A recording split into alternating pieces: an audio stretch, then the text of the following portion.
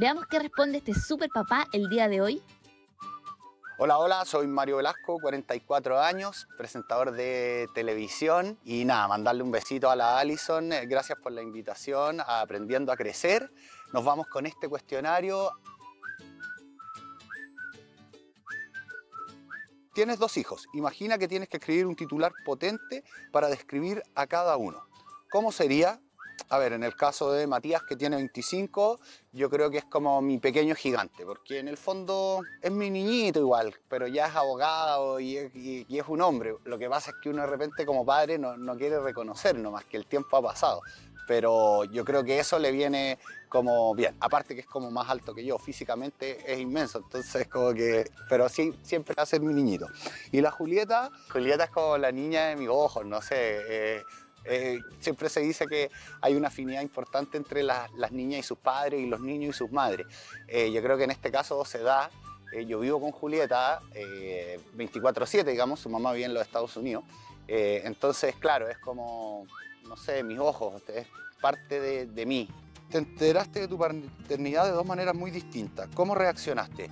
Uh, wow, sí, de Matías supe que era su padre a los seis años, y claro, fue como una situación un poco extraña porque la madre Matías se acerca a mi mamá en un mall y le dice, oiga, yo creo que eh, usted es la abuelita de la criatura.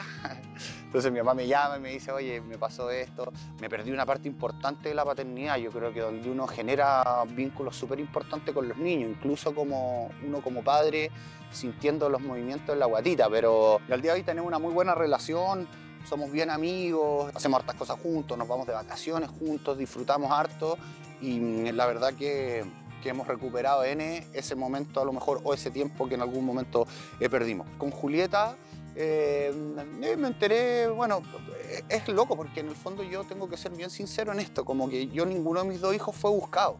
No, no fueron eh, en el fondo programados, por decirlo. Y claro, en algún momento, si bien es una noticia que te puede generar ciertos conflictos, hoy día los dos son lo más importante que tengo en la vida, como que la vida me dio una lección muy linda de a lo mejor decir, pucha, sabéis que no lo esperaba, no lo proyecté, no lo busqué, no, no lo programé, pero después hoy me doy cuenta que es, lo más importante que tengo en mi vida. ¿Qué es lo mejor de haber sido papá joven?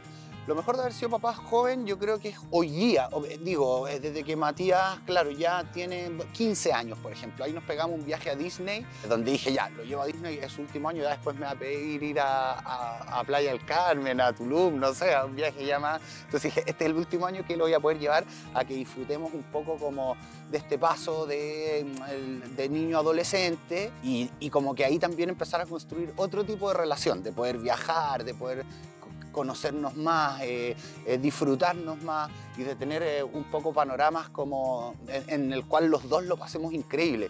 Tu hijo es muy parecido físicamente a ti, es igual de galán que yo, somos muy parecidos físicamente, pero es bien pololo, como que desde bien chico, así te, diría que desde los 16 más o menos, ha pololeado constantemente, pero me parece que eh, lo mío de galán viene como un poco por ser educado, por ser atento, por tal vez por hacer reír, como por, por el humor, conquistar a través del humor.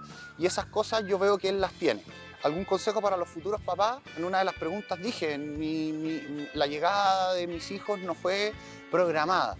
Eh, si están en esa situación o si programaron y están a puertas de ser papá, yo creo que se van a dar cuenta de lo lindo que es la paternidad, de, que es finalmente lo más importante que le puede pasar a un ser humano. Cambia un poco las prioridades uno es medio egoísta de por sí, o los seres humanos somos medio egoístas de por sí, pero cuando uno es padre hay alguien más importante que tú, entonces cambia un poco tu escala en, ese aspecto. Pura alegría, pura magia, todos los días descubrir cosas nuevas, todos los días descubrirse uno eh, frente a este gran desafío que es la paternidad. Así que felicitarlos de antemano y a todos los que son papás también y mamás felicitarlos porque es eh, una tremenda tarea, pero también eh, con unos réditos que son maravillosos.